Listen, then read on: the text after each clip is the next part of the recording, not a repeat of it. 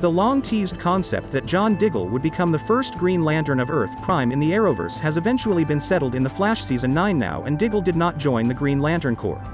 Those who believed the former vigilante and Argus agent's fate was written in the stars were disappointed by this discovery.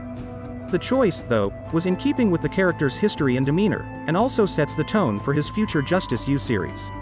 The soldier turned bodyguard, who acted as Little John to Oliver Queen's Robin Hood, was a calming effect on the Emerald Archer after his return to civilization. He later became Green Arrow's spiritual brother as well as his crime-fighting sidekick, and when he wasn't taking up the Green Arrow mantle for himself, he went by the pseudonym Spartan. The bond that developed between John Diggle and Oliver Queen matched that of Green Lantern Hal Jordan and Oliver Queen in the comics. Because John Diggle has numerous character features with Green Lantern John Stewart, people speculated that he would become a Green Lantern in the Arrowverse. Arrow made numerous clues in this regard, including revealing that Diggle's stepfather was a guy named Stewart in the Flash of Earth 90 recognizing Diggle and remarking, You're not wearing your ring, referring to the Green Lantern's signature gear. With a strange box containing a glowing green object crashing to Earth near him as he was in the process of moving the last of his belongings from his home in Star City to Metropolis, where his family was already waiting for him, the series finale of Arrow seemed to set John Diggle on the path to becoming a Green Lantern. After the Arrow finale, Diggle made many appearances across the Arrowverse, claiming that he had been experiencing headaches and hearing voices ever since getting the box, but that he had been unable to open it a second time. This left John Diggle's future uncertain, so he sought advice from his pals at Star Labs and Wayne Enterprises about his physical state in the box. His final appearance was in the Batwoman Season 3 in which Luke Fox's attempts to unlock the box failed.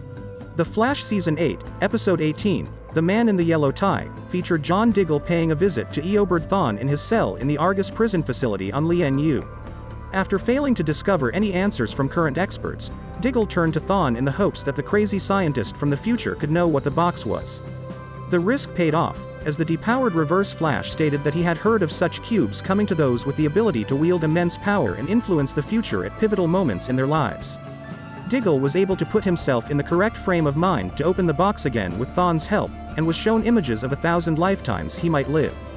Diggle rejected the box and flung it aside, where it vanished in midair when he realized that all of those lives needed him to forsake his wife and children.